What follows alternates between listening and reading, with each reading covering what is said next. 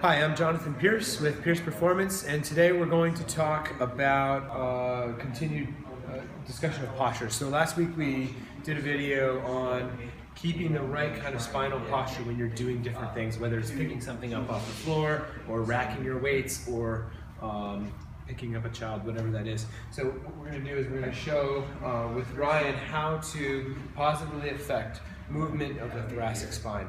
So the thoracic spine is made to rotate and to uh, flex and to extend. And so a lot of us have issues with our shoulder mobility or our, our pelvis, partly due to issues in the thoracic spine, the middle of our back. So we're going to work on that. When we work on the thoracic spine, it's also important to remember that there's ribs that attach on the thoracic spine. So I'm trying to impress change to the ribs as well as the actual musculature and the, and the, the ligaments around the spine.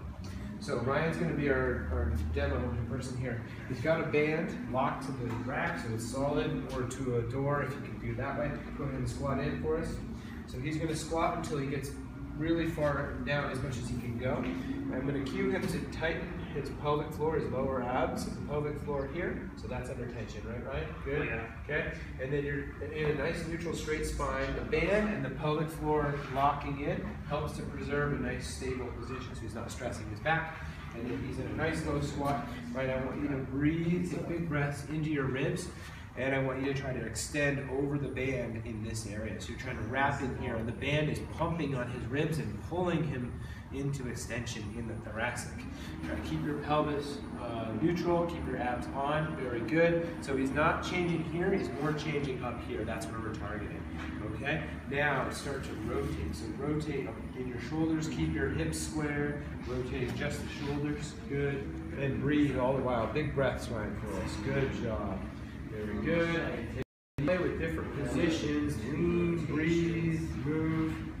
Lean, breathe. Good. You can even, if you're a weightlifter, you do it in lifting arms out to the sides. You can come out into this kind of a receiving position and then rotate from there. Breathe.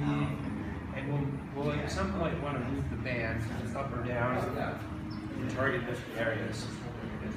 Okay? That's how we'll uh, find one way to affect positive change for the ribs and the spine at the same time. It's a lot of bang for your buck because you're getting shearing of the soft tissues and you're getting movement of the of the ribs with the breath.